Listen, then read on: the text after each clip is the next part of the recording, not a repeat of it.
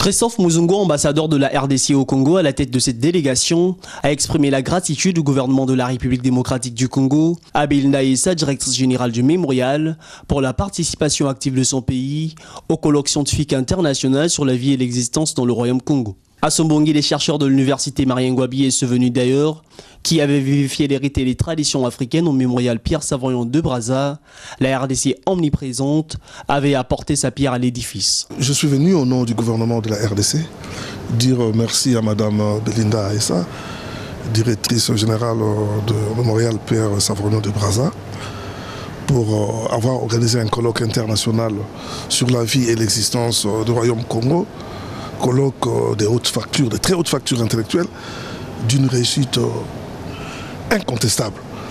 Le gouvernement de la RDC, euh, conduite par la ministre de la Culture et des Arts, m'a chargé de dire merci au nom du gouvernement.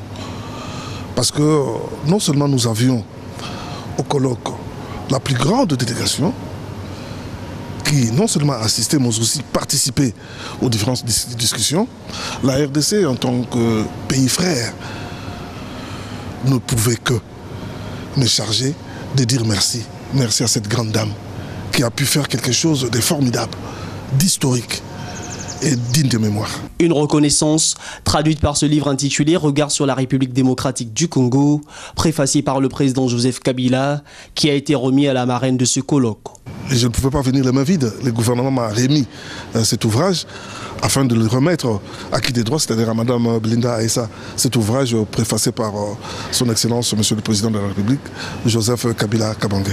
L'ouvrage retrace euh, l'histoire de toutes les richesses de la République démocratique du Congo. Christophe Mouzongou et sa délégation ont également rendu un hommage à l'explorateur Pierre Savorian de Brazza, dont l'humanisme refait notamment surface à travers ce bas-relief conçu en sa mémoire.